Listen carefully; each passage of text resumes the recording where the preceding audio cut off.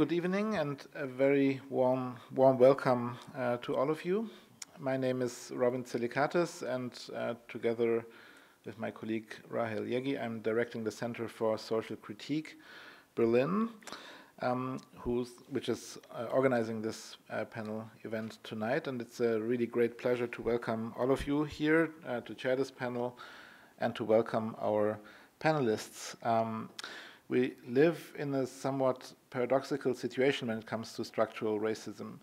Um, on the one hand, it's clear that this uh, concept has um, been very prominent in anti-racist struggles um, recently, especially uh, in social movements such as Black Lives Matter, but also in um, the new wave of critical theorizing about race and racism um, that has emerged both in the US but also in Europe, also in Germany.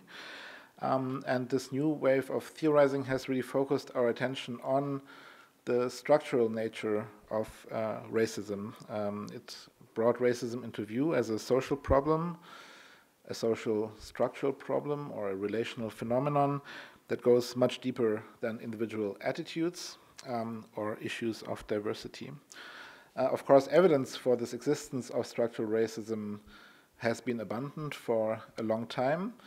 Um, if you look at uh, sociological studies of the housing market, if you look at the segregation um, and stratification of the labor market, um, if you look at access to loans and credit, if you look at public health, as um, evidenced by the uh, disproportionate impact, again, of the COVID pandemic on racialized populations, if you look at police violence and the criminal justice system, uh, if you look at the border regime and migration policies, they all uh, disparately and disproportionately impact um, racialized populations. Um, and all of this um, uh, relatively independently of um, individual agents, their attitudes, their behaviors, um, whether professed or not. On the other hand, of course, there's um, an ongoing backlash against the notion of structural racism. Um, against largely imaginary constructions of uh, critical uh, race uh, theory and its presumably ideological or unscientific usage of terms like racism or structural racism. Um, this goes from uh, Florida, where the governor and possible next president of the United States, Ron DeSantis, has been waging an anti woke campaign in which issues of um, structural racism play uh, an important ideological role.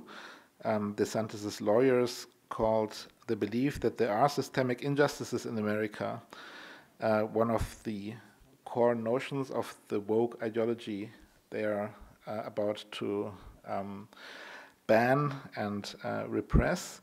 Um, but it's also a phenomenon that we can see in Germany, of course, where from the AfD to certain voices in the public debate, to journalists, um, academics, uh, even social scientists and scholars in the humanities, there are uh, various attacks on um, both anti-racist activism and um, concepts such as structural racism. Now, in this kind of ideological war that is going on, uh, there is maybe a tiny kernel of truth in that this notion of structural racism is indeed um, still somewhat under theorized and often quite vague when it is invoked so widely as we see it being invoked today. And it is precisely against this background that um, in this panel tonight we want to explore questions such as the precise nature of uh, structural racism. What makes structural racism structural? What does it mean to speak of structural racism and its relation to, let's say, for example, institutional or systemic or individual uh, racism? And if racism is indeed structural, what does this imply for anti racist struggles and social movements and their transformative orientation? To explore these and other issues. We are very fortunate to have four fantastic panelists uh, here with us uh, this evening. Um, from my left to my right, uh, Bafta Sarbo, Sally Haslanger, Daniel James, and Kristina Lepold. Thanks so much to all of you for accepting our invitation. Um, let me just very briefly introduce our panelists. You should read their work and uh, also follow them on social media if you haven't done so yet, because uh, in their work and in their activism, in their uh, published academic work, but also in what uh, those of them who use social media, what they post, there's really a lot to learn about all these ongoing uh, debates.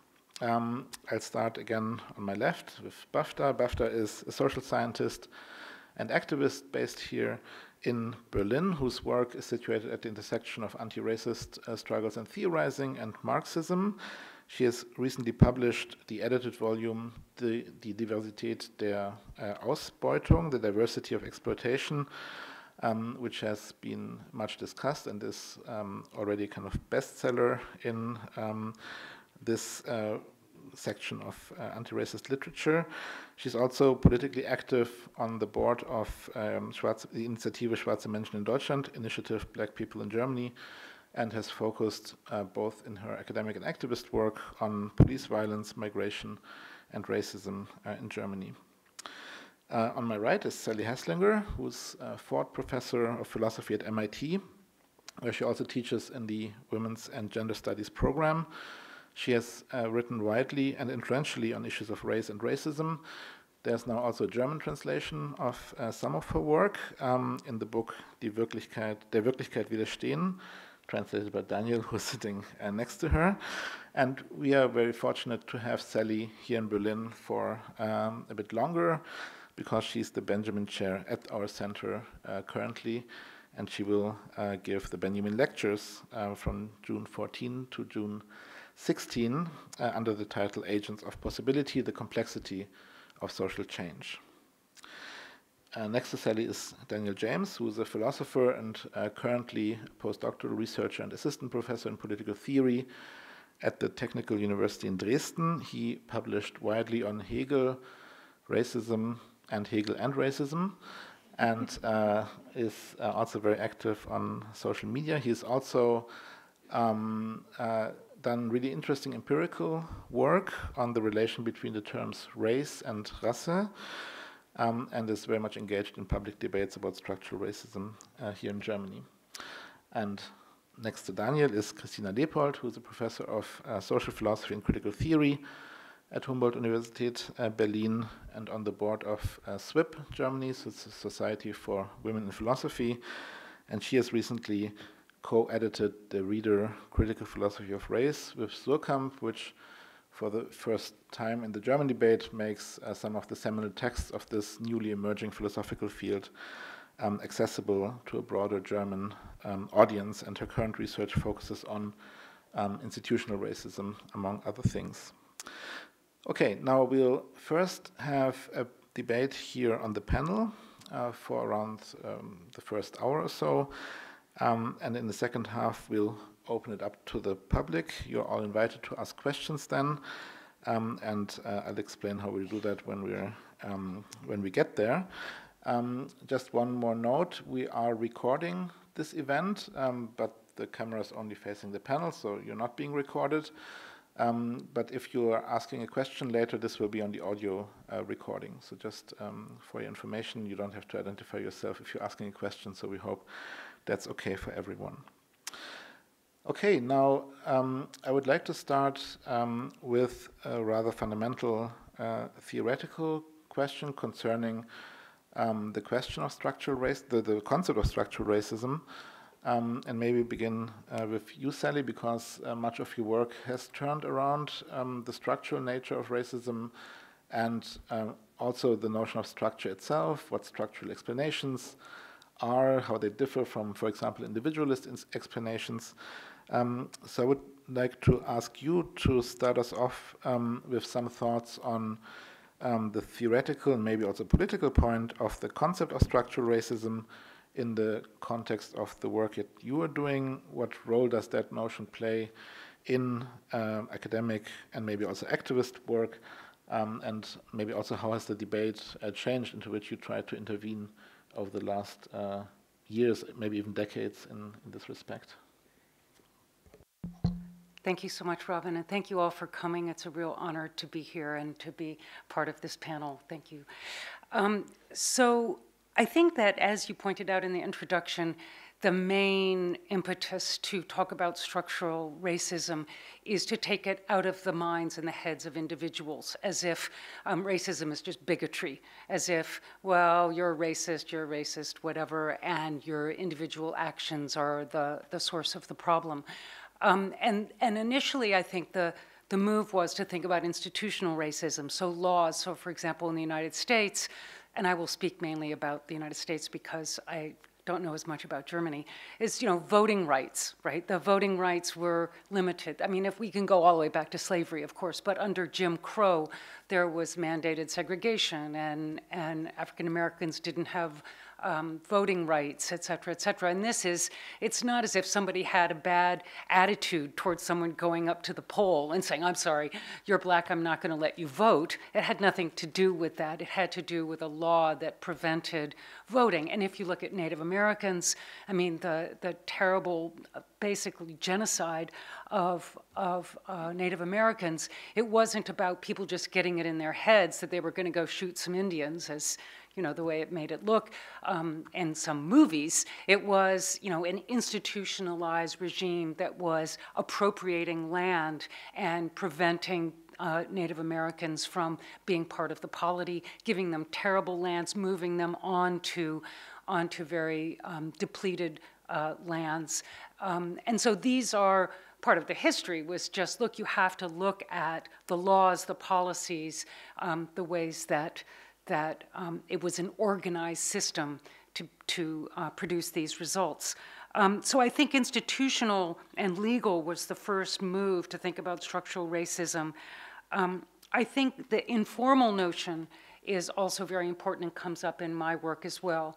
So I, the way I think about this is that there are a set of social meanings that are part of culture, and these social meanings are, are signals to people um, to behave certain ways, to do certain things. So, you know, in English as in German, there are different um, kinds of personal pronouns, sort of masculine and feminine personal pronouns. And infants, it's hard to tell um, what pronouns to use because, you know, they don't present their genitals to you. Um, and so you dress them in pink or blue so people know what pronouns to use. And so, but the same is true about race. There are many ways of signaling race and picking up on those signals of race without necessarily having biased attitudes or negative attitudes. You're just kind of going through a process of interpreting and reading people's clothing, people's hairstyles, people's way of responding in the world, the way of speaking. And on the radio, for example, there's you know accents there's a kind of an african american vernacular and the minute that african american vernacular comes on people are going to start assuming things about the speaker and so that's a kind of signaling and i don't think it's conscious i don't even think it's re reasonable to say in most cases that it's unconscious as well. I think that they're just disposed to respond in certain ways um, to certain signals, just the way people are, we're always responding. So in this, it becomes structural in that it gives people a kind of choice architecture. And I'll give you a simplistic example, but my, my colleague, I have a black colleague in linguistics, and it's very common in philosophy in the in our department that people, especially the guys, they wear t-shirts and jeans. And he had found that if he just wore t-shirts and jeans to teach, um, then people would assume he was a member of the custodial staff, that he was a janitor, because he's black. And so he dresses up and looks nice and wears a jacket, you know, button down shirt and everything. And, and he would, when he was up for renewal, the department head said, I don't know, you're very aggressive. Did you know that? You're very, even your clothing is aggressive. And he was like, What? What? How can my clothing be aggressive? I'm just, I'm just looking, I'm just dressing up. But you see these, this, this frame of options he was given was either you wear a t-shirt and you're considered a janitor, or you wear a button-down shirt and a jacket and you're considered aggressive. So there's a kind of choice architecture that was set up for him that wasn't about policies. It was about signaling and what you signal and who signals what and how to be legible. And he was left being illegible. He had no way to be legible as a thoughtful, um, linguist just being a professor at the university. So I think that's a kind of example of a more informal way that, that our choices are shaped not by laws and policies and institutions, but by these kind of social meanings. Great, thank you, Sally. Um, maybe to um, open the range of theoretical options of understanding how the structural uh, force of racism operates. So, if I understand correctly, yours would be a kind of, say, practice and culture based account in which um, the options that individuals ha have are very much uh, constrained uh, by the way in which uh, the culture is organized um, and the ways in which uh, the practices individuals are caught up in either enable them or don't enable them to to do certain things, and and especially for uh, maybe people who, who who profit from these forms of structural constraints or who, not, who are not as constrained, uh, that can be quite invisible, as your department had, who didn't seem to have any awareness of that. Um, maybe turning to you, Bafta, one other way of explaining the structural um, nature of uh, racism, so the fact that racism is not just an optional kind of add on to some of our societies, is to look at um, the relation between racism and capitalism that has played an important role in your um, work. Um, yeah, could you talk a bit about how, the, or whether the notion of structural racism makes sense to you, how you would spell it out from a kind of sort of theoretical point of view? But also maybe if you think that it has, um, you know, any kind of importance for your political uh, work.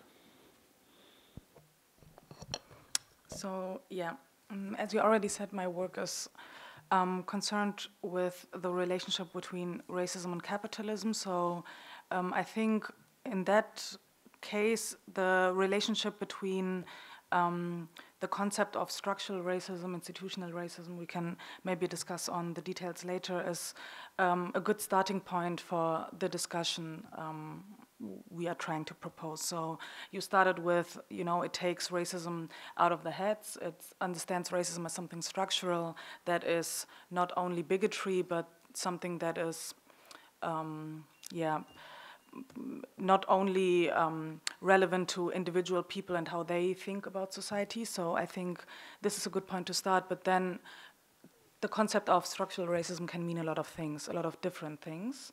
Um, I think it has a potential in bringing together a lot of different theories that agree on this specific fact, and I think from a political standpoint, that has a lot of potential.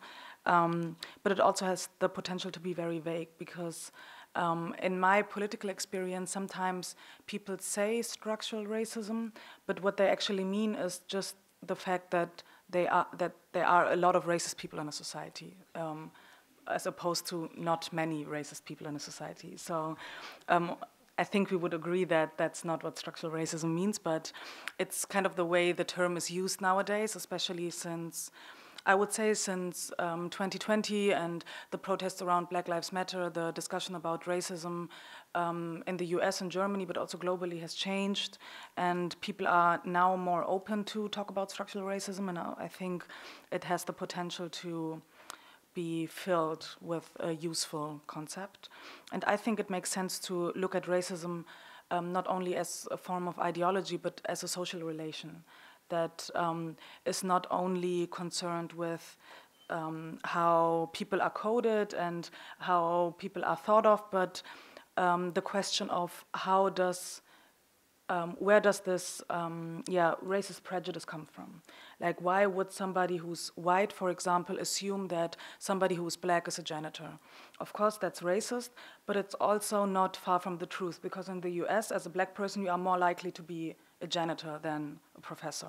So that is also a social reality. And I think when we talk about racism and when we talk about structural racism, we cannot separate the social reality from the ideology. And I think the racism doesn't begin at the ideo ideological part, but with the fact that our society is already organized in a specific way, that black people, for example, are predominantly part of the working class.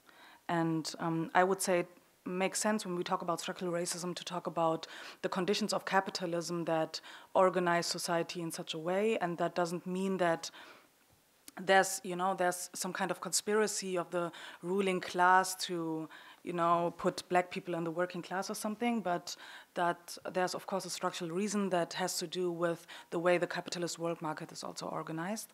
And starting from that that would kind of disconnect um, the concept of racism from being only um, yeah a form of ideology um, that is in people's heads, but that is in the very social structure we live in. But that would um, also disconnect racism from the concept that it has to be um, motivated. Um, there's this uh, great study by um, Eric Williams called Capitalism and Slavery, where he says that slavery doesn't come from racism, racism comes from slavery. And I think this is like a very good concept of how to think about these social relations and to connect yeah, racism to capitalist class societies and understand it in a more holistic way. So structural in this case would mean um, some specific framework of capitalist class societies. Thank you. Um, Daniel, maybe uh, I can ask you to say a bit about how you see the relation between the ideological and the social relational or social practical or structural. Um, I mean, I think there is probably general agreement here that we shouldn't think in too many dichotomies here, and that any workable notion of the ideological has, has to be one that is, you know, let's say practice theoretical for the moment or materialist. Uh, but still, I think it's a question of how exactly these are um, um, related. So, um, yeah, how do you, how, if at all, do you use the notion of structural racism in your work, and how would you think about that uh, relation that Bafta just talked about between the ideological and the material organization of society um, that that we might also, you know, describe or analyze from uh, another theoretical point of view. Yeah, thanks for the question, and first of all, thanks uh, to both of you, uh, and Robin, for inviting us. I'm really happy to be here, here, this panel. A bit nervous, as you can tell, but uh, hopefully it'll be all right. Um, um, yeah, I think, so generally, I, uh, the, the, approach I'm seeking is one that sort of asks, okay, what, what's supposed to be the point of this concept? And I think one point I'm particularly interested in is having a concept of, of structural racism that can guide, uh, at the end, empirical inquiry into you know, racialized disparities and these things that can be one project that can coexist with many other ones, but that's just one thing I'm particularly interested in. So think, again, as Robin just mentioned, think of the disproportionate impact that the COVID-19 pandemic had on different um, racialized uh, populations or groups. Maybe we can say a little bit more about uh, how I would try to make sense of that later. But uh, just to mention uh, that example, and I think sort of the concept I think that might serve that purpose very well would be an understanding of, of racism as what I would call racialized oppression. Um, and um, you know, I, I, like to think of racialization sort of as a there's a there's a paper that says that race is a bundle of sticks. So I like to say racialization is a bundle of sticks. You have all these different sticks that sort of lead to the racialization of groups. This might be how people are represented, how they are treated, uh, but there can also be other factors. There could be social economic factors, and in the end, there can be sort of very brute material factors as well. So um, Think, for instance, of, uh, uh, think of, uh, of, a social system such as the city. Uh, so in the city, of course, you have institutions, you have all these rules, you have people that have different roles in these institutions. But of course, there's also a, material side to that city. Uh, it has roads, it has, it has railways, it has, it has its infrastructure on all these things.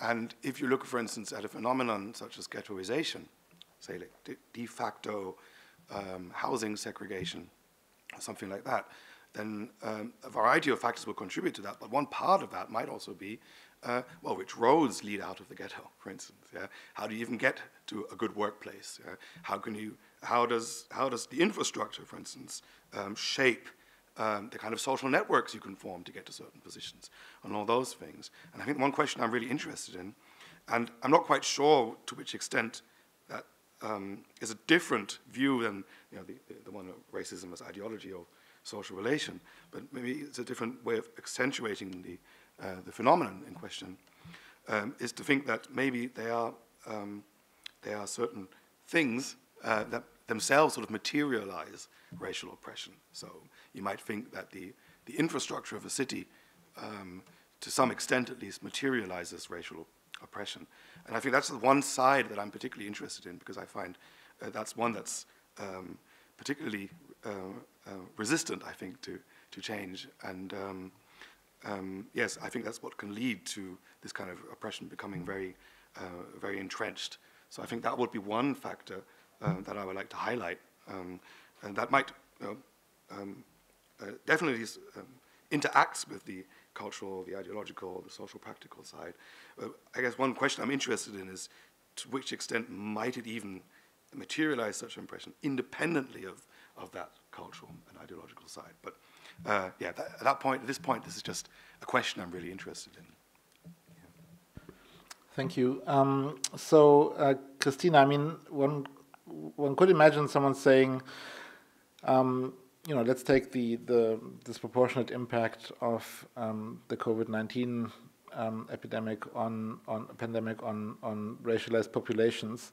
That this is a function of you know both some individual forms of racism, you know, politicians taking decisions that um, are just not playing out equally for different parts of the population. It might also be um, an effect of certain forms of institutional racism. So let's say within the medical system, in hospitals, etc., there might be certain institutional logics, um, the language being used, uh, etc., that disadvantage racialized populations. Um, what, if any, um, added value does the concept of structural racism have in this context? I mean, you yourself work on institutional racism, um, and uh, often as I mentioned at the beginning, these are sort of lumped up, and people tend to identify everything that goes beyond the individual psychology of uh, people and their racist attitudes. Uh, they tend to lump it together, so there's no very clear separation between institutional, structural, or systemic uh, racism. Um, I was wondering how you would account for that distinction, especially between institutional and structural racism. I mean, is there something that goes beyond the institutional level? In your view, or could one sort of try to explain almost all there is to the way racism organize, uh, is organized in our societies on the institutional um, level? Yeah.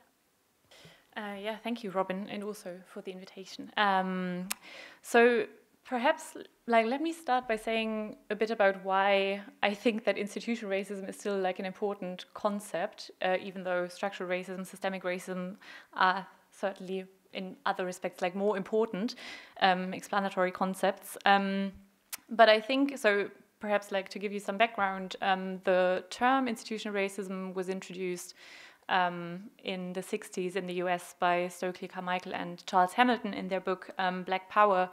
And interestingly, at a time when um, segregation uh, had been outlawed and blacks or Afro American uh, people had already achieved um, voting rights, as Sally pointed out earlier. So they wrote the book at a time when that was already achieved, but still there were still sort of widespread um, material uh, inequalities and also inequalities when it comes to healthcare, etc., education, etc., etc. And they sort of introduced um, the concept of institutional racism to account for this or to have like a concept that could explain this. And um, so I'm mainly interested in institutional racism because it is a concept that is still used in activist circles today. Um, I mean, Bafta uh, probably knows much more about this than I do um, because she's actually working on this in the German context.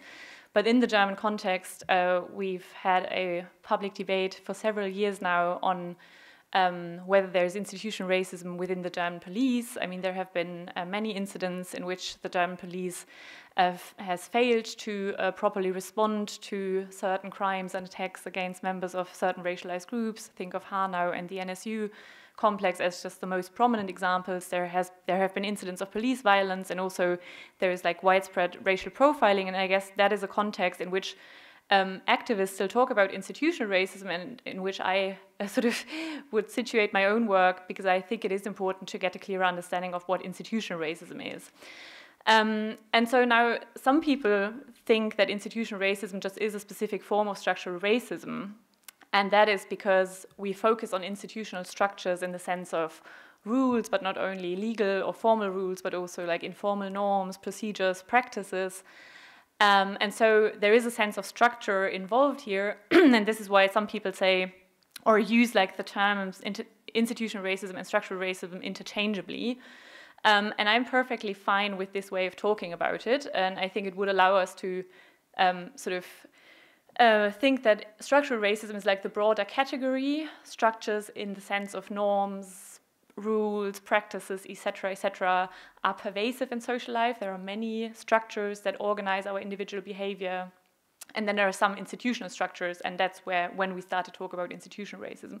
So that would be one way of connecting it to the topic of uh, structural racism. But I should also say that I have no um, stakes in what exactly we should label structural racism. I mean, I find much common ground with what all of you said. I think that the institutions I'm talking about, the institution of the police, um, is embedded in a capitalist society, in a nation state, is interacting with other institutions like uh, schools, um, the prison, etc., etc. And so it's important to see that. And I'm not really sure um, for what specific aspect of all of this I want to reserve the sort of word um, structural. I'm happy with like I mean so we should I, I think we should sort of be careful not to um, enter into like a merely verbal dispute about the term structural. Um, yeah. Yeah sure please. So one thing that we didn't talk about yet is systemic racism. And I think um, Sometimes I like to think about the systemic as so the, the structural, it's kind of like a roadmap where you get the relations and the different things that are being related. But one of the things I find very important is that there's a dynamics here. So for example, between the cultural and the material, there is this dynamic so that the material can, can give rise to the cultural and then the cultural can reinforce the material. And so it's a, it's not a static thing, it's a process. And I think all of these different parts of it, the, the materiality of it, the cultural part of it, the personal part of it, they're all part of an interacting sort of process that, that creates an equilibrium where it seems as though we're stuck. We're stuck with this, where of course we have these different access points then in the culture and in the material conditions and in the individuals. So I just wanted to add systemic to the picture. Thank you. Um, maybe, Bafta, question to you. I mean, so even if we make these distinctions in, in theory, I mean, do they have a point in activist practice? Or, I mean, if you, you've, you've done a lot of both research on and political work on or against um, police uh, violence and racism as it is uh, manifested in the police. I mean, in, in your work there, does it make a difference whether we think about institutional racism? I mean, it's clear that individual racism is not enough, but does it make a difference whether we think about institutional racism and structural racism? Where, where does the embeddedness of the police in, for example, capitalist structures and their own logic come in? Because it might seem that this is at an abstract level that is hard to relate to the more activist engagement with that institution. Um, yeah, I know it can seem that way, but I think this is uh, very much at the core of a lot of debates um, within the activist field on um, racism within the police. So I think um, institutional racism as a concept would make sense to use it for the police as an institution to see, okay, what is um, the structural logic of police work? Um, there's, uh, for example, a certain reason why there are um, over proportionately um, people with right wing beliefs within the police, um, a specific culture of masculinity, for example, and of course also um, a lot more people with racist beliefs than within the average society. So I think. Uh, when we talk about this, and it makes sense to talk about this, um, institutional racism as a concept would make sense. Um, but I think it's also important to go maybe to a higher level, to a more abstract level, and look at the police as an institution um, connected to, as you said, um, their function in capitalist society, but also within the state. Because when we look at uh, racial profiling in Germany, um, other than in the US, in Germany, racial profiling is very much um, directed. Um, at very specific people, the police assumes to be um, illegals, to uh, cross the border illegally, and what they are looking for are people who are illegal migrants that they could um, uh, deport back to wherever they come from. So when we look at this kind of um, legal framework that exists in Germany, um, the migration regime, uh, the laws the police operate on.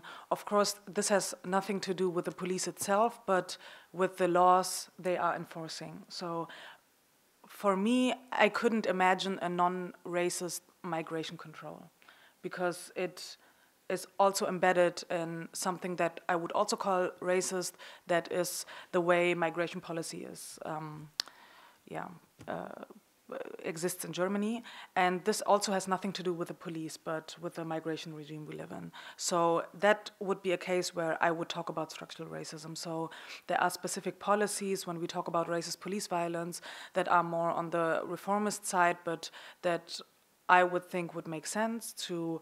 Um, defund the police, to lessen police capacities, and um, to abolish these kinds of um, in Germany, we call them dangerous places. That are places where the police can just, um, uh, yeah, basically um, go around and uh, stop and, yeah, in English, I think you would call it stop and frisk, but I'm not sure. Um, and it would be possible on a legal level to just abolish that. And that would change some of the police work, I think, but it wouldn't change it overall because this directive of migration control doesn't just go away. So I think these are different levels where I would talk about institutional racism in one case and structural racism in another case because I would consider the term structural racism to be a lot more, yeah, yeah, to be on a higher level. And I think when in, in um, activists um, circles when we talk about, for example, specific campaigns we are doing. These discussions are actually at the core because we have to discuss about what we think is the actual problem when we talk about racial profiling in Germany. So um, maybe to contrast it to um, another position that I think nobody on this panel would hold is that the mainstream position in Germany is actually that what you need is more anti-racism workshops in um, yeah, police education or like diversity workshops or more a, a, more diverse police itself, and that would be an understanding of racism that wouldn't understand it as something structural. I would say. Thank you. Um, yeah, maybe Sally, can I ask you to speak to that complex? Um, how and I mean, also in the U.S., there's there's simply at the moment is extremely I mean, to call it heated is under is, is, is not really adequate because it's politically weaponized and made into a new kind of sort of culture war scenario. I mean, how in this context, where there is this massive backlash, not just on a discursive level, but you know, using state repression, using uh, basically legal means to forbid um, uh, public institutions from even talking about certain things. Um, what do you think is a possible response to this? Um, situation. I mean, it's different across different states in the U.S., of course, but um, I would just be interested. I mean, there's so on the one hand we have the the, the risk, as Bafta pointed out, of this kind of let's say liberal anti-racism that is too individualist and too psychologizing, um, and suggests that you know a couple of diversity uh, trainings and anti-racist trainings, anti-bias trainings might help us fix the problem. Um, but on the other hand, you have this other even worse, maybe risk or threat of um, you know just um, openly right wing and in, in, the end openly racist um, uh, politicians and and uh, social movements even, um, which seem to put those who advocate for a structural understanding of racism and for a radically transformative political response to that very much on the defensive. So yeah, what's your what's your view of the of the state of the struggle in this respect? well, it's a firestorm. I mean, it's a it's a it's a terrible situation in the U.S. right now. Fortunately, I live in Massachusetts, which is a deep blue state.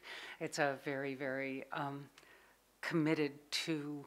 I mean, of the American states, it's one of the ones that is most um, committed to anti-racist work, I believe.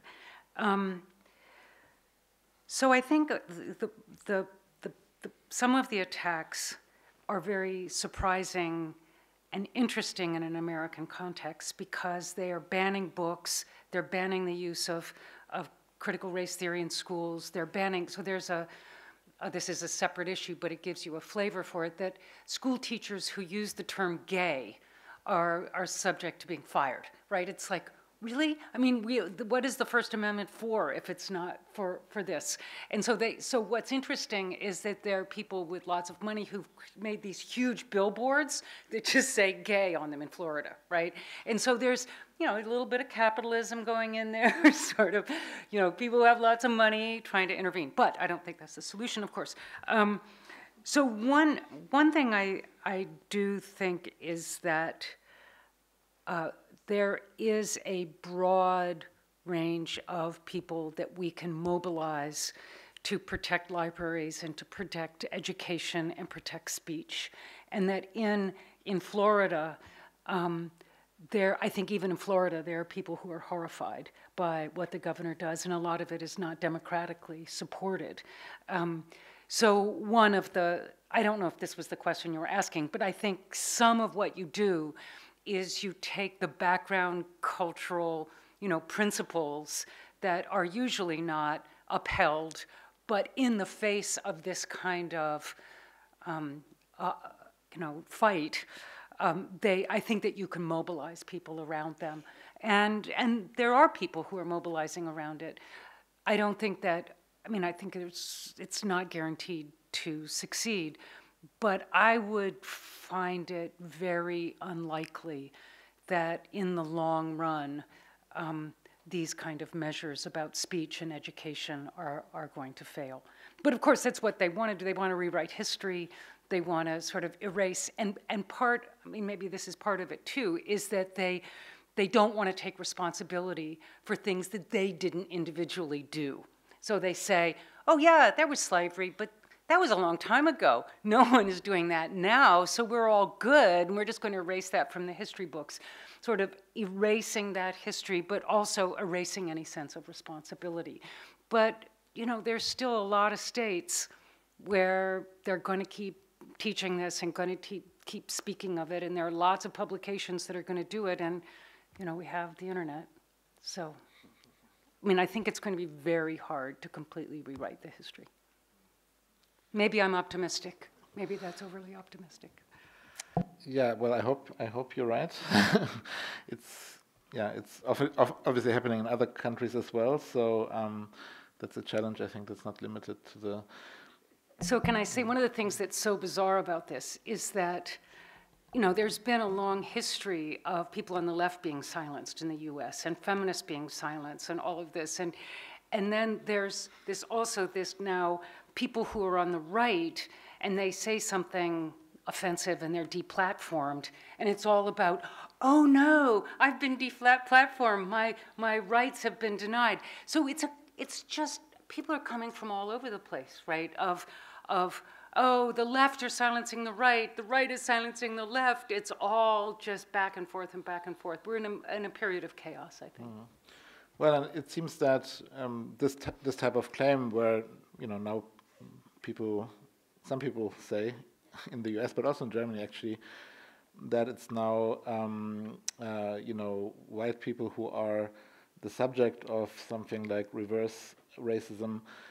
That only seems to be possible if you abstract racism from this structural embeddedness in histo histories of um, you know, racial oppression and injustice and ongoing structures of inequality in these different areas that we talked about, because only then can you have the thought even that um, that is now what is happening. But yeah. precisely that that's the way in which this concept seems to circulate and um, also then be, be is, is, turned around.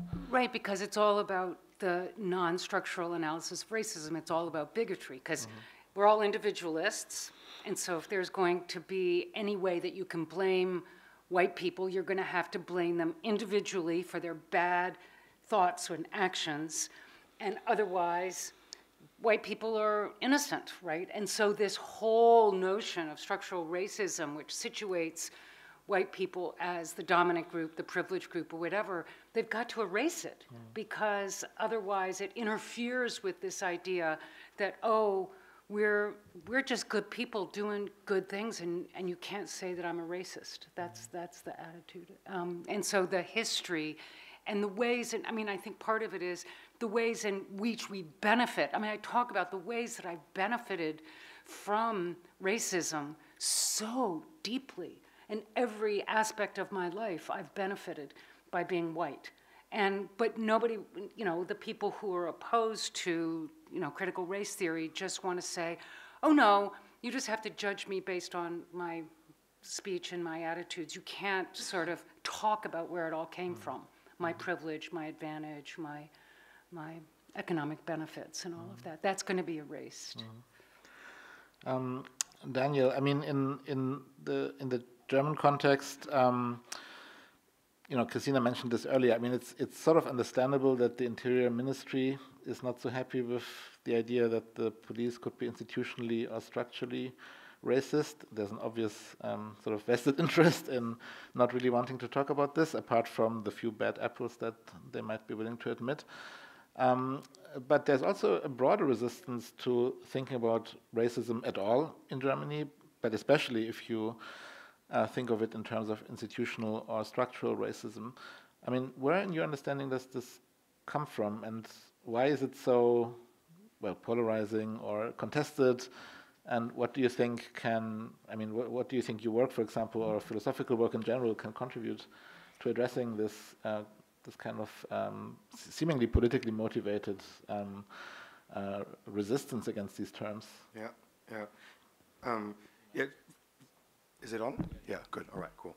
Uh, I mean, very general. Generally, um, uh, I like to think of you know contested concepts as concepts where there, there's a variety of conceptions that people have different ways of understanding the concept, and then what they actually fight about is sort of what is the right way uh, to understand this concept. And I think what makes uh, it, very generally speaking, just very messy. This this applies to uh, other places just as much as to Germany. Is uh, that racism is what uh, some people in philosophy call a, a, thick ethical concept. So it has sort of both descriptive, maybe even explanatory, and evaluative components. And maybe they're even sort of inextricably intertwined. So you could say, you know, to call something racist is you know, to call for action, right? You want to say that, um, that whatever you are calling racist is, um, is obviously wrong, unjust, something like that, uh, and has to be changed. I think this is sort of a really important thing. Uh, because of, again, very generally, maybe people, different groups, different interests, um, um, they will be uh, more or less inclined or willing to change the things in question, for instance. So um, I think that's sort of, these are two very important factors, just very generally speaking. And then the third one is, and I think this one definitely applies uh, to the German context, is, uh, well, um, uh, who has a say now in sort of determining what we understand by racism. And in that sense, you could say, well, there's also something of a, of a power struggle going on um, where uh, uh, minoritized groups uh, um, are attempting to have more of a say uh, uh, when it comes uh, to our understanding of racism and then find an understanding that is more in, in their interests, um, whereas there might be pushback from the majority precisely because of the kind of action that that might call for. And I'll put this very, very generally just to sort of have like a, a broad um, um, um, roadmap, I think uh, this explains a lot of why um, um, debates over racism are, um, are so loaded and contested. Uh, so, of course, if you start calling uh, an, an, institution such as the police uh, racist, then um, that is, again, a call for action and that can be very fundamental depending on how deep, uh, deeply entrenched you take that problem to be. So, of course, the resistance against sort of an understanding of racism that would then sort of adequately apply to the police is also resistance just to changing the institution in question. Um, and then, you know, I do think to some extent also uh, that there will be resistance to uh, giving up what Germans like to call um, Deutungsmacht, so it's called a hermeneutic power or something like that. Um, so I think that's definitely a part of it. But I do think there's something that's sort of very peculiar to, to Germany, um, and um, that has to do with just a lot of the general terminology um, that we would need um, to talk about racism in the first place, or address racism in the first place. Uh, you know, if you look at some kind of dictionary de definition of racism, you might see something like discrimination uh, on the basis of race. Well, just translate that into German and, and, uh, and you'll make people feel very uncomfortable um, because you will rely on the German term uh, Rasse, for instance. And um, um, at least what I've, what I've been told, for instance, when it comes to uh, anti-discriminatory uh, legislation is that actually, um, this is what uh, um, a legal scholar said in a talk when it came specifically to Article 3 that says, uh, Article 3 of German basic law that says, uh, among other things, that uh, no one should be discriminated against on the basis of their race, aufgrund der Rasse is the German expression. That, uh, um, and this is just an anecdote, uh, again, from a legal scholar, I'm not a legal scholar myself, um, that um, judges actually felt uncomfortable to, um, to um, make decisions based on that article because they did not want to subscribe to the existence of Rasse uh, in doing so. So I think um, um, there's a lot of, you might call this um, color blindness, color muteness, maybe, uh, about, uh, about race in the German context. Uh, and I do think precisely because sort of a standard understanding of racism some, uh, will somehow rely on that concept uh, of race. I do, I do, think that puts us in a, in, a, in a, precarious position when it comes to, uh, um, to addressing various racisms, especially when we're talking about things that are not just in the heart or in the head. I think uh, then the challenge gets um, particularly uh, weighty for us. Um, and uh, there are obvious historical reasons for why there is this discomfort, of course, but I don't think that's all that there is to this story. Um, I do think also that um, uh, there's a sort of, you know, some people call this like German exceptionalism, uh, that we sort of, that, uh, Germany has learned from its past mistakes, and to some extent we're sort of beyond, beyond that, and then addressing maybe that, you know, as I would prefer to say, you know, racialization still, still is an issue, will of course be a challenge to that view. So I think these are sort of very peculiar German problems. On the one, on the one hand, lots of German angst, so to speak, over um, uh, over race, over Rasse, very specifically. But I also do think, um, yeah, a particular kind of very German smugness uh, about uh, the, um, how German has Germany has come to terms with its history, or yeah, or not, for that matter. Kristina, could you also talk to this question because you did a lot of work literally translating and editing uh, texts from the US context in philosophy and making them accessible to the uh, German discussion, and obviously this requires a kind of translation that goes beyond translation in the narrow uh, sense. So, you know, thinking about how these concepts then relate to and might need to be revised in light of um, the specificities also of the German context. I mean, and in, in this, in, in the light of this work, I mean, how do you see this resistance to notions of racism, and especially structural racism, um, and maybe also the ways in which to respond to it philosophically from your own experience. I mean, yeah, is, is there a specific challenge to philosophers um, getting their head around this, these notions? Because the discipline itself seems to be, I mean, not to overrate philosophy's importance, but it stands out, you know, negatively maybe as not being particularly good in, it mildly addressing its own history of um, producing and reproducing racism, both you know on the on the conceptual but also on the institutional um, level. Uh, yeah, thank you. Um, there are so many things to say here, so I don't don't really know where to start. Um, talking about philosophy, I would actually sort of like to hear what uh, Daniel's experiences over the past two or three years have been, um, because you've done so much on Hegel and colonialism, and I'm actually sort of wondering how what what sort of how people have reacted to that. But sort of my experience with maybe you can talk to about that later. I, I would would love to hear more about uh, about this. Um, so my experience is it was kind of interesting um, because I think philosophers like the mainstream of philosophy doesn't take itself to be interested in any kinds of questions that have to do with the social world or anything like that. And so it's been interesting for me because I mean um, sort of doing my PhD in philosophy and so on, like no one really at the time talked about racism, at least in Germany. Um, but turning to the US, which is so like you know we all look to the US and the sort of English language departments, and it's like so great, and the philosophy is so much better than the philosophy we are doing. And it, has been kind of interesting the effect that since people like Sally and other people like Charles Mills, Tommy Shelby, etc., etc., like all these well-known philosophers have actually sort of done research on race and racism for like over 20 years, that has really helped legitimize kind of bringing that to the German context. And now sort of my colleagues are kind of saying, oh, okay, people at MIT or at Harvard, they are actually sort of interested in racism. So, mm, okay, it could be like a legitimate uh, topic for philosophers to sort of discuss. So that's kind of that's kind of interesting. I mean, that's just one kind of anecdote about how I how I experience it.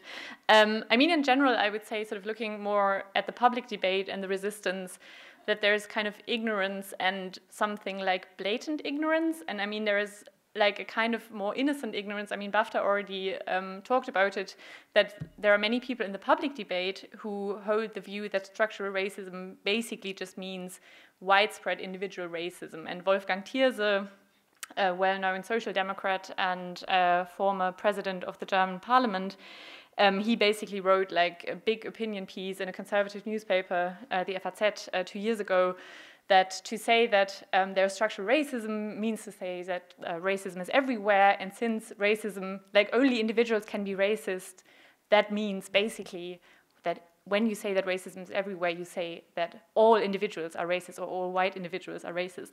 And so this is just a huge misunderstanding and can probably count as a form of ignorance because I don't know anyone like who seriously works on the concept of structural racism who actually employs sort of the term in that kind of way.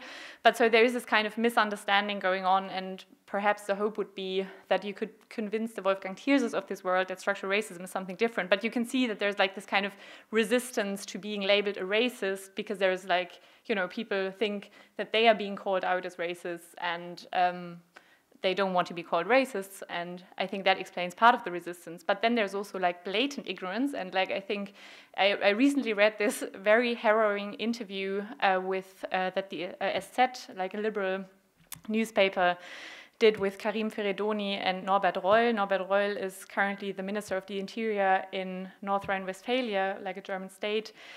And like basically to sum up the position of Reul, like he was basically saying, I know, I just know that there's no racism within the German police. And also, we don't need any social scientific research on this because there are, you know, you have one study saying this, you have another study contradicting it. And so, you know, just trust me, I know that it's all going to be fine. And this is what I would call like blatant ignorance. Like there's just, like he doesn't want to know, right? And I think people like him, like should be called out and that like that's really a sign of like a deeper resistance of like someone not wanting to get into a serious discussion of what it would mean um, to tackle like institutional and structural racism. Thanks. Daniel, do you want to jump in? Just a very quick uh, uh, follow-up that also connects to what you just said, because I, I realized I only had answered half of your question. Because um, you also asked what philosophy uh, uh might be might contribute. Obviously, all of us have, a lot to say about that, but uh, one thing I just thought was uh, specifically about the contestedness of this. I thought, well, if it's one good, if there's one thing that philosophers are fairly good at is, uh, uh um, well, at least to some extent, uh, sorting out these kind of, you know, uh, disputes of, you know, what does the, does the concept mean this thing, that thing, what exactly is going on, what, where's the action here? So you might say, um, if, if there's a dispute over whether the, the German police is structurally racist or not, then, uh, then that's not just a factual dispute, that's also a dispute about, uh, uh, well, what, kind of, what concept is at play here? Um, um, and then you might ask, following that, well, what are the practical implications of that concept? And then maybe you, you find out that a part of the dispute is maybe due to um, you know, what kind of actions might be called for, and maybe people are just not so willing to do those things. So maybe philosophy can help a little bit in sort of pulling these things uh, apart. Uh, and then I think a second thing, maybe, uh, I don't know if I'm being too optimistic about this, but um, I, I, just mentioned some of the conceptual issues. Take you know, again the German context. Uh, maybe, uh, maybe if um, talk is just too fraught in the German context. Uh, but having no concept at all doesn't put us in a good uh, uh, position uh, either um, to, you know, um, for empirical inquiry into racism or these kind of things. then uh, you know, various disciplines, social sciences, history, um, they, they will have to develop um, alternatives that can still help us understand these phenom phenomena. I do think philosophy uh, can have a valuable contribution to make there. For instance, maybe something like, that would be something I would be interested in, um, accounting for racism in terms of racialization, for instance, and, um, and seeing what, what, kind of work that concept uh, could do, uh, and, and, uh, and how it might fare as a, as a replacement, in that case, uh, for the concept of race, in the German context at least. Different things might apply in different contexts, but um, I, I, do think these are uh, potentially valuable contributions that philosophy can make.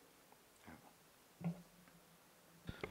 Thank you. So um, before we open it up, I would like to have one um, more round on the panel on and return to anti-racist struggles. Um, and Bafta, maybe to start with you this round. Um, I mean, you you've also been um,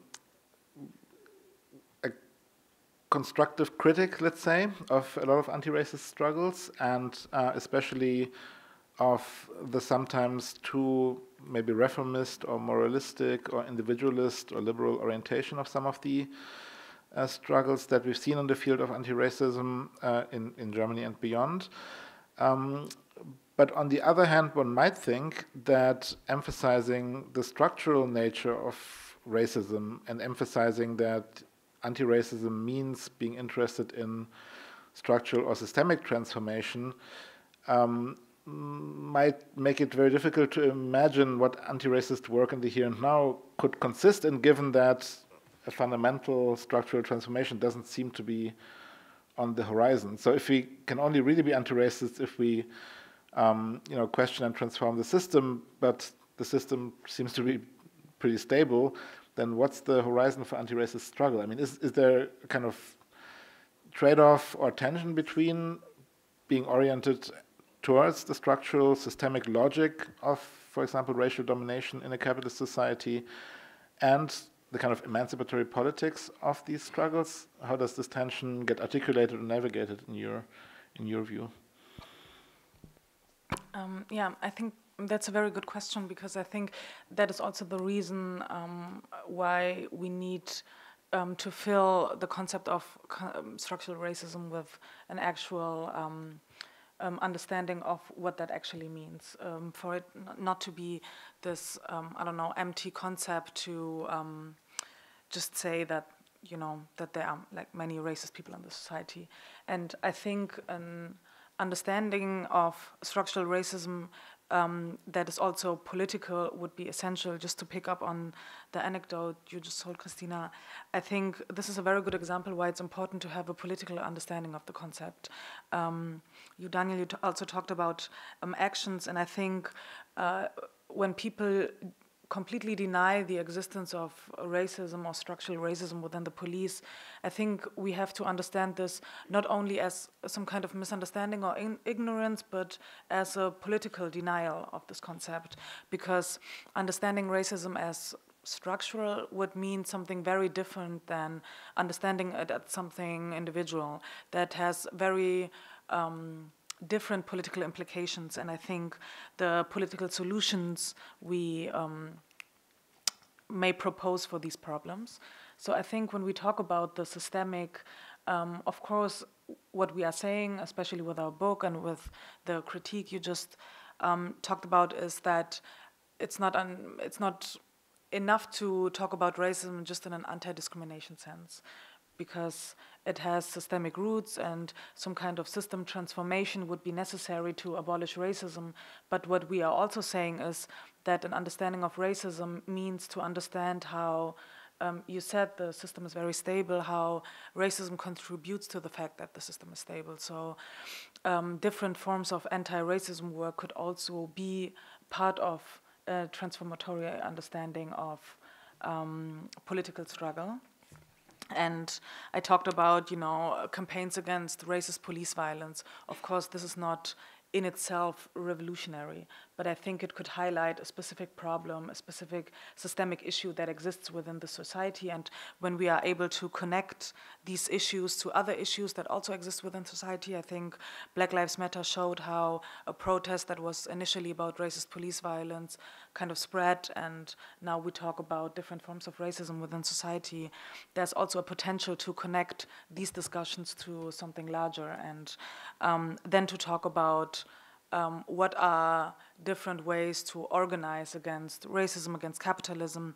But within this organizing, I think we need to have some kind of consciousness raising, um, not first, but I think it has to be kind of, um, what's the word? Against? Complementary? Exactly.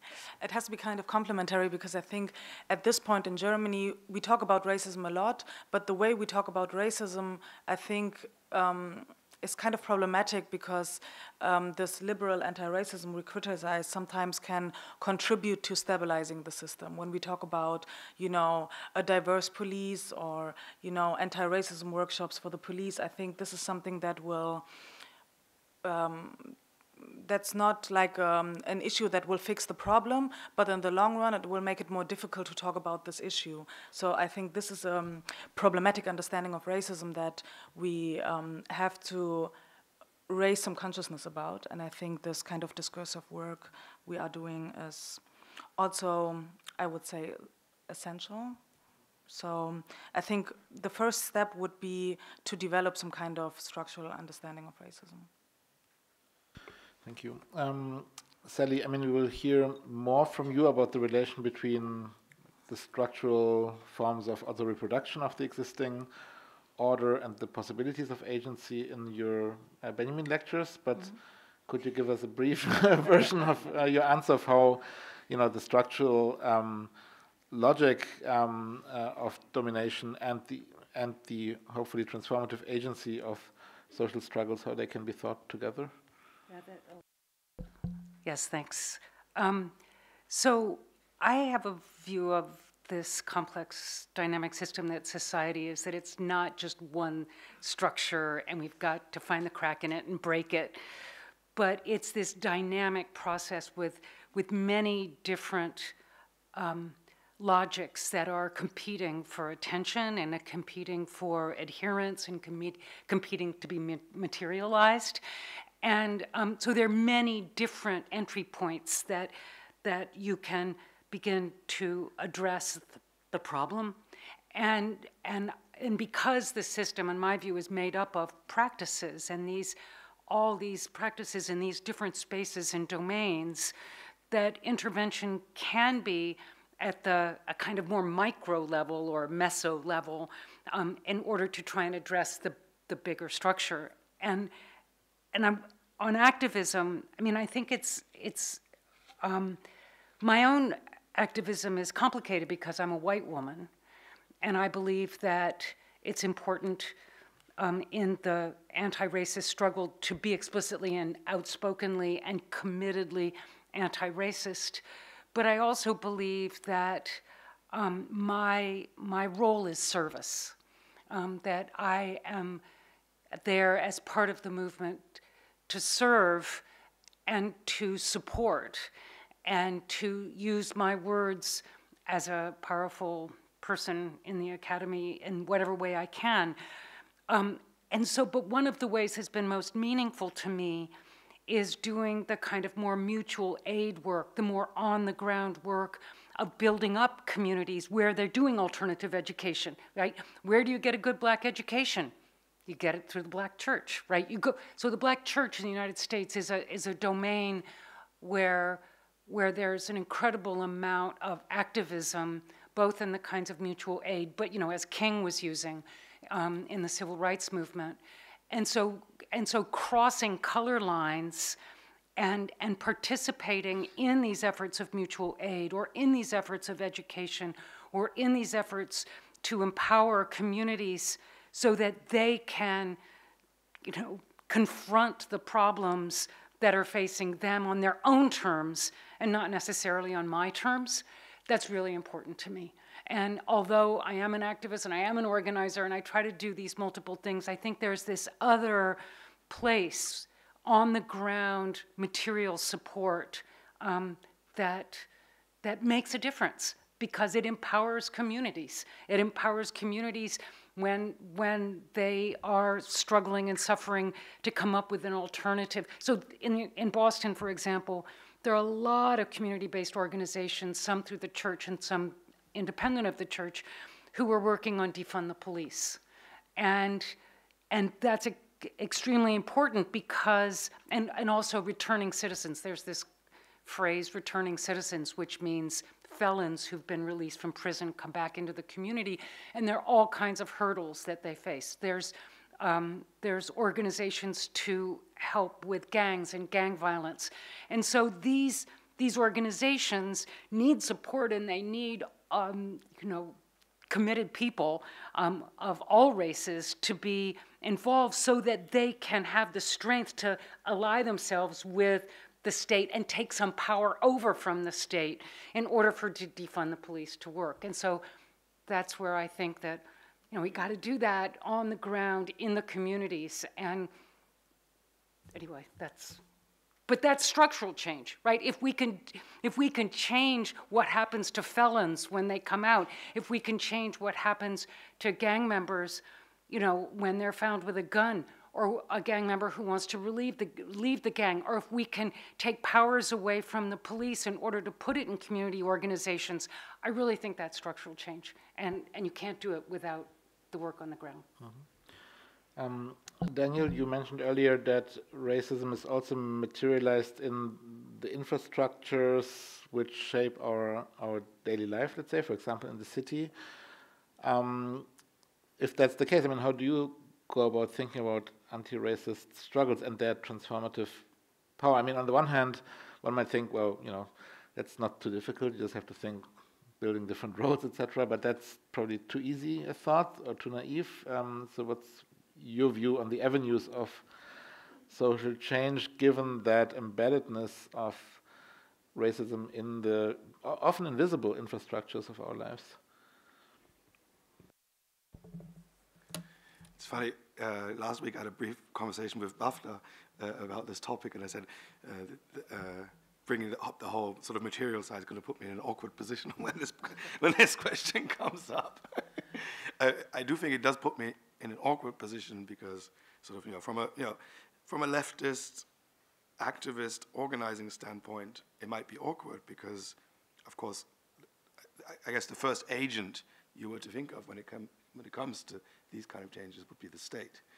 Uh, and uh, I mean, this would be something I'd be very curious uh, to explore, maybe here, maybe elsewhere, um, you know, thinking of alternatives to that. But um, um, because, uh, uh, because uh, th these are the kind of structures that are otherwise so, um, um, so hard to change, um, it, I, yeah, I, I, I currently struggle seeing ways of, of even addressing them sort of um, without reliance on the state. So that's that's why I feel a bit awkward about uh, about this uh, this particular phenomenon. Uh, you, you, did mention the uh, the invisibility of it, um, and I do think, um, I mean, a, a, lot of work there is just going to be. It's going to be. It's going to be conceptual work. It's going to be empirical work. But, but it's also going to be activist work to the point that uh, um, we have so little data about all these phenomena and how they bear on racialization. Um, so uh, one, one example I like to I like to bring up in this concept uh, in this context is, for instance, the Afrozensus. I don't know if you've if you've heard of that, but it is an attempt from um, from uh, several um, organizations, but among among them uh, each one, Teach One, which is a, is a black political organization, um, to to gather gather data on on anti-black racism basically. Uh, why is that so difficult otherwise? Well, because in official statistics we, we lack uh, the relevant categories to even gather such data. We have, as you might know, for a long time, the standard category used in Germany was that of migration background. Uh, this is put on this is put on hold right now. People are looking for alternatives, but one problem is that uh, migration background does not track racialization. So uh, you can be very much uh, racialized as as black, for instance, in just to mention one case, but there are, of course, several others, um, uh, but not have a migration background. So demographically speaking, you would be invisible uh, because of that. Um, but that just means that we just lack um, uh, a lot of data. We have a, a, a, massive gaping racial data gap, so to speak. Um, um, you can you have lots of proxies. Uh, you have things about employment, about housing, about like which neighborhoods uh, have what kind of what mortality rates with, with regard to COVID-19. But you have like a big race or racialization shaped hole uh, in these data. Um, and I do think um, a first step, I mean, this is very similar to, uh, I, I, think at least very similar to the, part of what uh, Bafta said before as well. Uh, a lot of this will be uh, the, the, theoretical work as well. Uh, a part of this will be empirical work, but the empirical work itself requires mobilization because, um, uh, because activist groups have to even push for gathering these data. And not all groups will be equally um, uh, will, be, will be fully aligned with this. And uh, different groups will have, have uh, somewhat different interests. Uh, there are many reasons why uh, um, um, groups such as, um, and, and, organizations such as the uh, Central Council for Sinti and Roma in Germany or the, um, the Central Jewish Council in Germany uh, are somewhat resistant to gathering these data. So there are many worries about, again, here we come back to the state again, yeah, uh, uh, to state overreach and too much state access to data. So that there, there, are, um, there are interesting issues that have to be resolved, and they have to be resolved in, in coalitions uh, of groups that are likewise affected, um, negatively affected here. Uh, by racialization. And that too is, of course, activist work that has to be done. That's just like the very first uh, uh, step, just to sort of gain some understanding uh, of what is going on. But I do think this is a crucial step. I'm not sure to which extent that answers your question, but at least it's one answer I can think of. Thank you. Um, Kristina, in, in, in, in, in the edited book, but also in, in some other work, I mean, you have looked at both, uh, let's say, the kind of ontological questions what is race, um, on which level does it manifest in which ways, and also at um, let's say you know let's say norm normative questions in political and moral philosophy that come up. Um, I mean, what is what is your sense of the philosophical debates here? I mean, as as I suggested towards Bafta, I mean there might be a certain understanding on which the the the deeper the ontological analysis is of the structural nature of racism, the less there seems to be room for you know individual or even collective uh, agency or responsibility. I mean, how, how does this tension get resolved in your view? In the or you know, is it is it is it the tension in the first place? And if so, um, how does it get resolved in the philosophical debates you're you're looking at? Um, well, I think there are like two dangers. I think sort of one danger is and that's like a danger I have to deal with in my work on institutional racism that you ignore basically the larger context in which this is taking place. Um, and so I think to talk about structural racism, also in the sense that Bafta highlighted that it's like multiple institutions, the law, et cetera, et cetera, interacting to produce certain outcomes, that is important, like an important step um, to make visible at what level or what kind of challenge we are actually facing. But of course, there is a second danger that comes with that because as soon as we talk about that there's structural racism, full stop, um, that can easily, I think, have kind of debilitating effects in a sense of, well, if, if racism is really structural, then it's like really kind of huge and can appear almost like immutable and hard to sort of, yeah, hard to change. So I think that is a, like a very serious danger. And I think, um, but I don't think it's sort of necessarily attention because I think what is important for all of us to do is sort of to um, kind of break racism down in terms of sort of analyzing, like, or to remember that racism is something that exists in concrete forms at very concrete sites in the social world, and that we can sort of study the specific mechanisms uh, through which it operates, et cetera, et cetera, and perhaps also identify um, sort of sites for intervention. Um, and so I think talking of structural racism is necessary to, yeah, as I said before, to make clear um, that like the challenge is huge, but that structural racism is not this kind of abstract monster, but actually sort of consists of like many, many different kinds of phenomena um, that we can actually sort of, and that is kind of important, I think, for also politically to sort of to break it down. And I think I'm more optimistic than Bafta, and perhaps we should, I'm, I'm not, not sure we have time, talk a bit about the whole debate on abolitionism. Um, because I think it would make a huge difference if we defunded the police, for instance. That would make a palpable sort of difference in social life, even though we would still, like the problem you mentioned of migration control, of course, that, that doesn't go away, but still it would make a difference. And so I think we can actually sort of identify sites um, where we, where it might be possible to change something. Um, so yeah, that's what I would say. So it's not necessarily attention. Thank you. We have still time, but um, I would like to use that time to open it up to the audience as well. So if you have comments, questions, preferably questions um, for uh, the panel, please raise your hand. I will try to take a note. So let leave your hand up for the time being, and there will be um, several mics in uh, the audience. So, I mean, maybe you can start yes. right in front of you. Yeah, on the right. We'll take two or three questions together and then uh, ask the panelists to respond. Please go ahead. Hello, everyone. Thank you so much for the panel and thank you for the interesting conversations. Um, I think my question is more question on oh, a question on your thoughts, um, particularly on violence. I know racism is conceptualized as something that's violent, um, but when we're looking at it from structural, institutional, or systemic mechanisms, especially if we're analyzing the ways in which it's integrated into our daily lives, we don't conceptualize our daily lives as violent, especially in the Western world. Um, so when we're talking about anti-racist work, how do you integrate concepts of violence in a way that is teachable to people and that lands and impacts them the way that racism impacts those that are affected by it. I think it's a very difficult thing to do because there are some scholars who do so, but then are labeled as radical, are often dismissed. And I think also when we conceptualize racism as violence, we have the tendency of pathologizing people and um, promoting images of um, people who are subjected to racial violence in ways that are insensitive. So yeah, I'm just curious about that. Thanks. Thank you very much. Then in the back on the left side, um, yeah.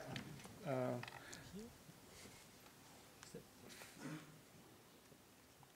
mm -hmm.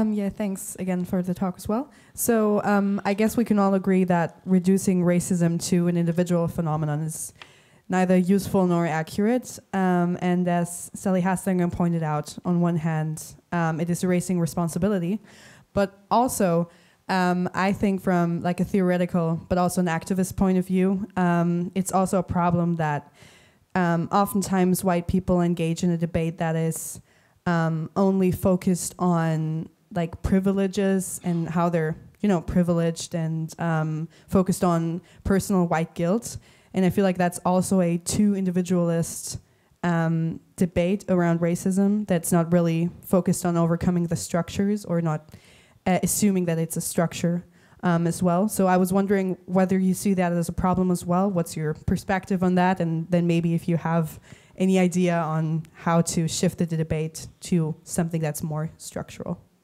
Thank you. And then there was a question right next, um, I think, to you. Yeah. And then we'll have the panel respond. Uh, yes, thank you as well for the interesting input. It was really insightful.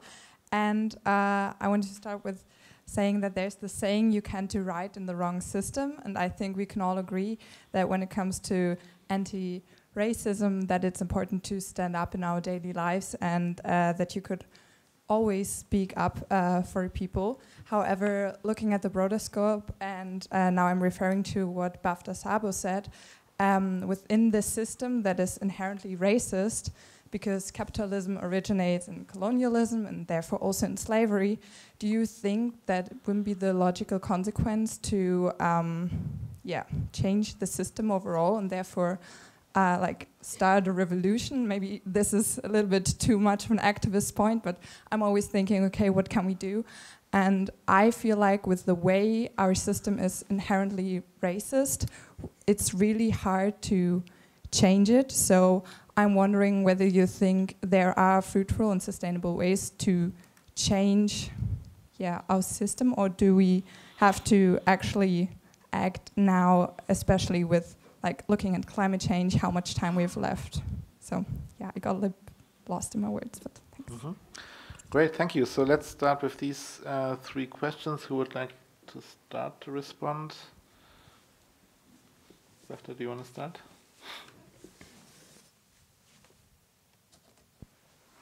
Um, I will start from the back because that question was directed to me. Um, I mean, if you ask this directly, of course, I would say we need a revolution. um, but then the question would be, what would that look like? What would that be? I think a lot of people have very different concepts of what that would mean. And I think the first step would be um, to um, kind of um, prepare a situation where this kind of change would even be possible because I think at the stage we are in now, it doesn't make sense to talk about um, to talk about anti-racist work in this sense because like there's no revolution on the horizon and there's like no force in society that would be able to bring this about. So I would think that to abolish racism in its entirety that would of course be necessary because I think um, what I understand as structural racism, capitalist class society, drives this kind of social relation that um, I would say um, always will bring up some kind of racial ideology. And I think um, that doesn't really, I, I think you made a good point, Kristina, about um, this kind of notion sometimes being debilitating because um, the structure can be so big and this whole issue can seem so huge that people would think, okay, there's nothing I can do in my day-to-day life. And I think um, that's why it's important to understand racism in a political sense as a political dynamic, as a power dynamic that can also be changed. That doesn't mean it will be abolished, but I think um, part of bringing about this, you know, um, uh, social force, this kind of social organization that would be able to change society in a meaningful way, we have to understand that um, racism within the police is also something you can at least um, yeah, I would say um, change somewhat. Defunding the police would be one way. I think there's also a possibility of changing somewhat of the legal framework in Germany that would um, lessen the opportunity of the police to do racial profiling. I also think that um, lessening some kind of uh, privileges a lot of uh, police have in just do racial profiling could be limited. So I think there are there is something you could do. There are little things, of course, in your day-to-day life when you just see somebody um, insulting someone on the street, you should always speak up. You should always like go to the person, ask, "Hey, are you okay? Is there something I can do?" Um, if you see the police just like profiling people, there's also something you can do. You can ask the people if they need, for example, a witness. Um, you know, you can um, assist people. There's a lot of stuff you can do on your day-to-day life. I think the biggest misconception would be that this will be enough to abolish racism. And I don't think anybody would say it this directly, but it's sort of implied in the way we talk about racism, um, especially within the past years. And that's something I would criticize. That doesn't mean uh, there's no value in the little things you can do. Um, yeah, maybe also referring to the other question about privilege, I think um, what you said in the question also relates to a lot of the stuff I would criticize about the current debate about racism. Because when we talk about racist police violence, I don't think anybody, any victim of racist police violence is helped if um, a white person sits there and checks their privilege and says something like, we have to do better we don't know what that means. And also, you are not the police as a random white person, so you are not responsible for racist police violence. We have to understand how the police as an institution functions. And even if you are, maybe you don't experience racial profiling, but there are different groups in society that experience police violence. Um, homeless people, people who use drugs, leftist people, you know, and I think when we talk about racial profiling, racist police violence, the bigger potential would be to connect this debate to other debates about um, police violence that exist within society to, to also bring about larger coalitions of different people that maybe share this specific interest. And I think this would also be a good step in the right direction to, um, you know, bring, um, yeah, to kind of bring about this force that could also lead to a larger change within society.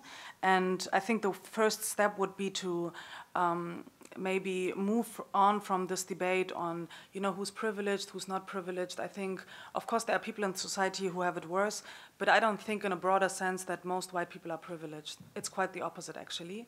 And I think the most important step would be to understand that um, there are very few people in the society who are privileged, and the vast majority is not.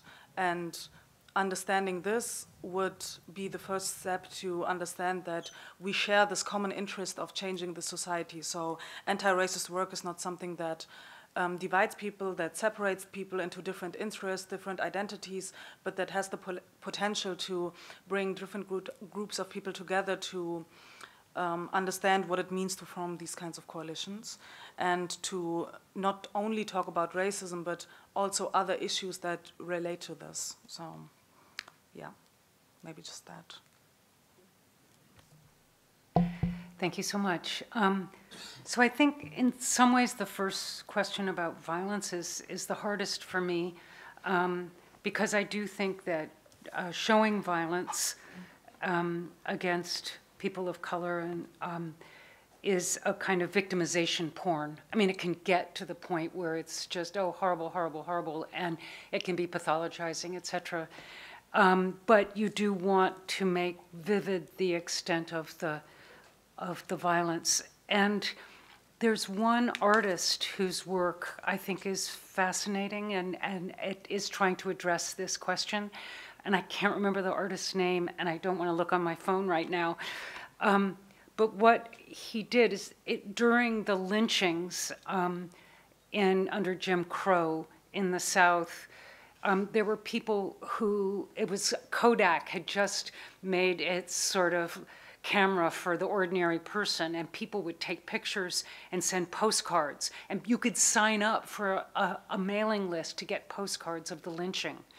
And there are lots and lots of these postcards left. And what he did is he cut out the, the figure of the black, typically black man who was lynched, so that all you could see was the the joy and fascination of the white people looking at this, what had been a cutout space. So it was removing the, the, the violated body in order for white people to reflect on themselves in their own fascination with that violence. And it seemed to me that there was a, there can be in art like that a very powerful uh, ur- a kind of impulse to self reflection or push to self reflection to sort of see, okay, what would you do and how would it be and how horrifying would it be? Because the, the image of a lynching is, is already fairly well known, but to shift it this way, I think is really powerful.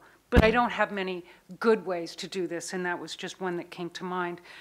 Um, uh, in terms of erasing response. So I think that a big question that I didn't really address that was implicit in something that Robin asked me about with the Florida situation and the education and all of that is um, the deep, deep individualism, at least in the United States, and even invoking the First Amendment. It's oh my God, it's it's very much about uh, individual rights and I think the, the biggest challenge that we have in moving past white guilt and, and sort of taking responsibility is trying to move past that sense of individualism. And I do think it's connected to toxic masculinity. So there was something that Bafta said about the masculinity and the independent and individual who's perfectly capable of taking care of themselves and are only responsible for what they do. That is an ideology that is very deep in the United States. And how to combat it is a much bigger question. It's also embedded in Christian Protestantism in the U.S. So Christian, you know, Protestantism, you get your own relationship with Jesus. You don't have to go through the Pope, whatever. And it's very, it's very, so the Christian right is very individualistic, and so I don't know how to deal with that in a in a substantial way, but that has to happen. And then um, I, I do think that there are small revolutions. I think that the civil rights movement was, was um, a major revolution, although it was not violent. It was committed to nonviolence, but it didn't. But it's you know we still have a lot of work to do, right? That was that was a major change, and I'm these days as interested, if not more, in racial uplift. It's called and racial self-determination and economic um, empowerment. So I believe that because um, African Americans and other racial minorities are, um, they, it's very difficult for them to constitute a voting bloc. Um, they need anti-racists to vote with them, of course, but I think that if they can have greater power, they can have more self-determination, um, more economic empowerment where they're not necessarily reliant on um, the system of capitalism as we know it, but a kind of solidarity economy. I think that that is an important set of moves, and it's that's part of the mutual aid work and the service work I was doing to build up and empower a community so they have voice, and that voice can play a much more substantial role in how how things evolve.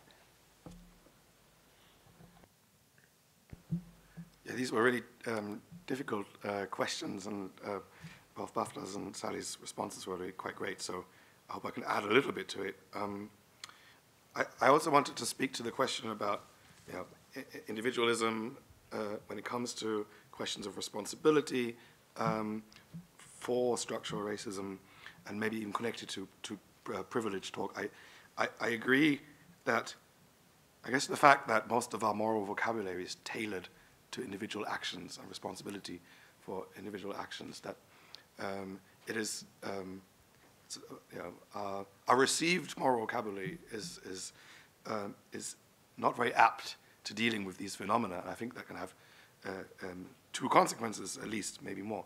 Uh, one of them is, and this is basically with the, as with the police example, people just break down the phenomenon into a phenomenon for which individuals are responsible, and you know that's quite overwhelming. So people might reject that altogether. Um, uh, but the other could be that people uh, if they think this is a matter of individual responsibility, individual agency, uh, they might just focus on the kind of things that are within their individual agency. You, know, you might not be able to change uh, the overall structure of society, but you know, you can always check your privilege. Um, uh, or maybe you can call out people for not doing so sufficiently. Um, so uh, I do think sort of the, I, I, agree with the diagnosis that the, um, the individualist account is is, is, too narrow, uh, but um, that we have to, I, I, guess to some extent, even engineer um, norm a normative, alternative normative vocabulary that helps us deal uh, with these phenomena. And this is not just a problem for discussions about structural racism, but there's been an ongoing philosophical debate about uh, structural injustice more broadly and questions of responsibility. And I think there might be lots of fruitful things we could find there for this odd position somewhere between you know, being an individual perpetrator and a mere bystander, say. Uh, and it's pretty clear that probably most people, are, uh, when it comes to phenomena such as structural racism, are not really at these poles, but somewhere in between. And uh, there's an interesting, there are interesting questions to be raised there. Uh, I'm, I'm just not quite sure um, there is no use whatsoever for talk of privilege. I'm not sure. Um, I'm thinking, for instance, let's say, let's say we think of structural racism as a matter of, of power, among other things, but maybe it's a matter of power, and it is a matter of how different uh, groups are empowered and disempowered you know, by virtue of different social structures. Um, one might think, for instance, that you know, uh, if certain things are in one's power by virtue of one's social position, then maybe one has also has certain obligations um, uh, to, um, to, do what is within uh, one's power and maybe uh, a more productive way in thinking of uh, uh, privilege and what uh, obligations might follow from that could be something like that. Um, uh, this is something I, have only just begun thinking about, so I don't have a very well-developed um, opinion on that. Quickly, just on the on the issue of change, again, I think uh, everything that uh, what uh, Bafta and Sally have said so far is, is already very helpful um, maybe just my own two cents. uh, uh, at the beginning I mentioned that I like to think of racialization as this bundle of sticks. You can really think that the bundle altogether, that's like unbreakable, right? Um, but um, uh, of course, you can look at all those um, all those sticks sort of individually, and these could be like different mechanisms um, that lead to racial subordination. Uh, and uh, so, uh, if we're in the position to identify what these sticks are, uh, that will, of course, suggest certain courses for action. And I do think, um, to some extent, I know um, there might be cause for skepticism if we think that many of these things are like reinforcing or like something else might sort of take its place or something like that. Uh, but uh, I, I, could think of sort of abolishing uh, racism stick by stick, so to speak, um, um, in this, uh, on this account, right? this is sort of a very abstract way of putting it, but I think that's sort of the account that, uh, the, the, the, approach that the account would suggest. Um, I, I, don't have that much to say about the violence point, I'm afraid. I'm, I'm, really sorry. Maybe we can discuss it in more detail later. Um, I, I, was thinking about it as I wasn't quite sure what I could uh, contribute in addition to what was already said, so I apologize for that. I don't think I have anything substantial to add, and I would prefer to hear more questions. Okay, we have time for a, a quick final round of questions. Um, so uh, there's one here in the front, and then uh, two here in the middle part. So could you give the mic to Christian here first, and then yeah. Okay. Yeah, uh, thank you. I would like to come back to the to the question of race because I'm one of these guys who's really um, uncomfortable speaking about race, and I think there are very good reasons for not thinking that race is a substantial concept in the sense of biology and so on. I understand, however, that it is a social reality, and I found it quite interesting that you managed to speak about structural racism all the time without ever coming back to race as a as a concept. So you mentioned it, Daniel, uh, sometimes, but in your analysis, it doesn't play a, a, big role. So I was wondering if you wouldn't agree that structural racism might be a way of understanding how race becomes a social reality without being a biological or something, something like a substantial way. And if this is so, wouldn't we have to say a bit more about what structural racism actually is beyond the point of that there is a migration regime uh, which then brings the police to um, um, to make racial profiling because it has this power to to create this kind of social reality. Mm -hmm. And let's take the two questions here in front of you, Amin. Yeah. Yeah. Thank you. Um, thanks so much for your statements and the discussion. So over the stretch of the last couple of years in Germany, it seems as, seems as if the study of structural racism has been divorced from the study of anti-Semitism. Though obviously anti-Semitism as an important dimension of structural racism would um, inform us about how race works vis-a-vis -vis also religion, vis-a-vis -vis culture, vis-a-vis -vis discrimination, and vis-a-vis genocide. And so by divorcing uh, racism and anti-Semitism, clearly what we have now is, or the state is invested in creating a hierarchy, uh, an epistemological hierarchy, and hierarchies in funding, hierarchies in public attention, uh, hierarchies in legal norms. We see that also playing out in the legal field. And in fact, then when it comes to anti-racist struggles, then we see that communities are being pitched against each other at the very expense of understanding uh, who's been, who, you know, who benefits from racism, basically, right? And so maybe uh, my question would be then uh, to you, um, how basically, you know, what, you, what, what, what is there that you can offer coming from your respective fields vis-a-vis -vis this very, let's say, novel divorce and basically how to overcome that divorce in these two in these two fields? Because I think we're at a very crucial point here in Germany where that divorce is also creating new types of racism towards a particular group that is actually being caught in between the anti-Semitism and racism um, um, um, discussion, and in particular, as we could see on the streets of Berlin, let's bring this also back to Berlin, um, and how like Palestinians were stripped of their constitutional right to protest because exactly of these kind of debates that we're not having. Okay, and then there was a question, I think, next to you. Um, yeah, hi. Um, so Daniel, you talked about like the terminology of race, and especially like in the German context, and um, I was just wondering um, if it is necessary to you know be able to talk about it um, and use the German term, even though there are so many emotions surrounding it, and you know we're on one side have like our past history, and then the other side we kind of like are trying to to prove or show that we've overcome all of that.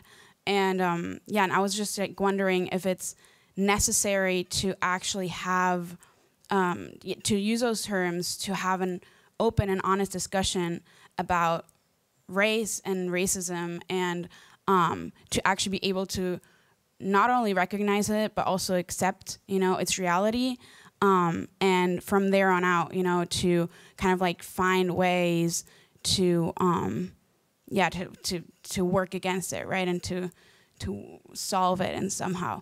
And um, but at the same time um, i'm also wondering like because if you only use the the english word at least in germany then you're also actively excluding people you know and, and it's also like the whole debate is actually like kind of like taking place on like an academia sort of like level. And so I don't want to, you know, like be hung up on, you know, one term or whatever. But at the same time, I do think it's very important because it is important to, you know, include everyone in that debate and give everyone a voice, but also kind of like make everyone understand um, the importance of of um, of the issue. Thank you. So we have 10 minutes left. Uh, please select what you would like to respond to, and we'll start with Kristina. Um, okay, then just very, a very short answer to Christian's question is yes.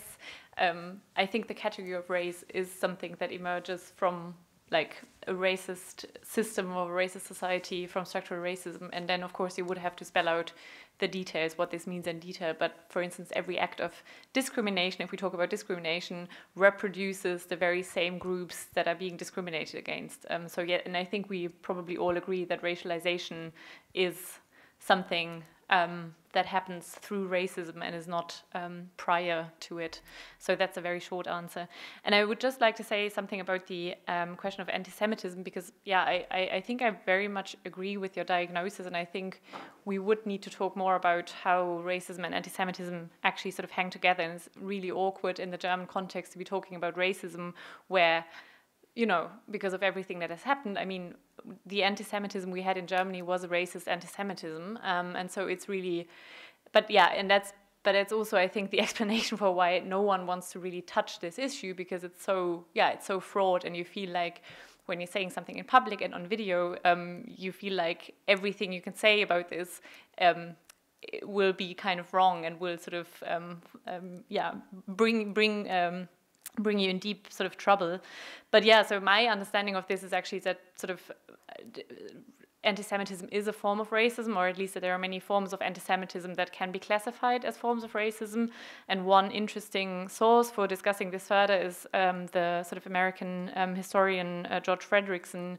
He sort of wrote a comparative history of racism and anti-Semitism. That's very interesting, and that would probably be very helpful, like in the German context, to you know discuss this um, further. So yeah, but I, I I just wanted to underscore that I really agree with your diagnosis and see the danger of these two forms of um, yeah, or anti-Semitism and racism being played out against each other, and we should not let that happen. Yeah, these were really great questions, uh, and in this case, I, I, feel very happy that I have something to say in response.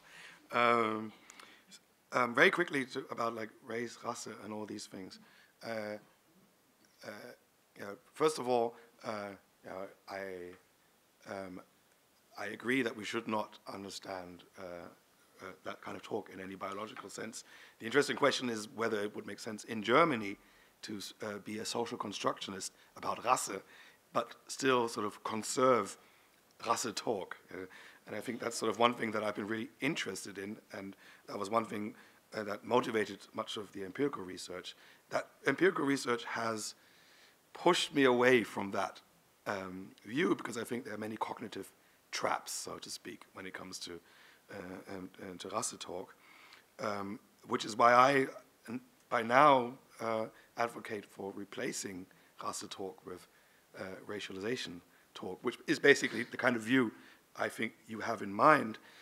Um, but uh, I don't think that Germans should be complacent about these things because I actually think the, the German ethos when it comes to uh, uh, Rasse and racialization uh, is uh, particularly perfidious because you, you have all of this racialization going on and you have racialized oppression going on. But at the same time, you don't really want to talk about anything that's in any way connected to it. That's what I said when I mentioned, when I used the term, uh, I don't know how ableist it is, but I couldn't think of a better one, color, color mute, so to speak. Uh, it's a reality of which we do not speak in the German context.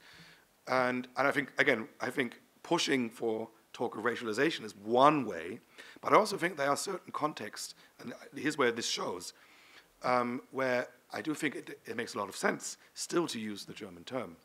So I, I, guess the kind of eliminativism, if you want to call it like that, is not an, not an uh, all or nothing option for me. I think there might be certain contexts in which it is appropriate to use the terminology, and I think those contexts are um, where the use of it is disruptive. Uh, I'll give you one example. Uh, Germans like to use racialized proxies for race. They don't talk about, they don't like talking about Rasse. They say like, you know, ethnic group instead, ethnia, they say. Yeah. Uh, I, this is an example I often mention.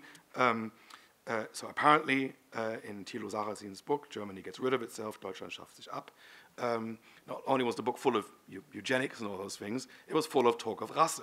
Yeah? Uh, now, the editors were perfectly fine with eugenics and all the other stuff, uh, but they said, yeah, you know, Rasse, maybe, you know, maybe say ethnia instead. Yeah? But, but like nothing changed about the thinking. I think this is a very German way of dealing with this issue. Yeah? And um, so I think actually it, to say, you know what, aren't you really talking about Rasse here, would be a sort of very disruptive use. Yeah? Um, now, I think basically, actually, I would say, yeah, not really using the term, you're, mentioning it in a way. Um, um, that is disruptive. Uh, and I think that's still very much useful. And I think we should keep that use in that particular context. But I think there are other contexts in which, say, for instance, social scientific research, where I think uh, talk of racialization would be much better uh, and would not lead us into the kind of um, yeah, cognitive traps, but also like moral problems, like you know, people feel uncomfortable with it, they don't engage with it because of that, they get defensive, whatever, all these things. Uh, long story to be told about that. Happy to do that another time. Uh, uh, but that would be basically my preferred option for the German context at the very least. I do think that that, um, to address the question of the uh, divorce of um, um, discourse about racism and anti-Semitism, I do think the racialization approach has a lot to say about this. Um, my favorite, my favorite account at the moment is, as I said, I like to think of racism as racialized oppression. And an interesting thing about racialization is, other than race, for instance, race might be a, uh, an on off thing, but racialization comes in degrees. Uh, racialization um, can be partial, and there can be partial racialized groups or partially racialized groups.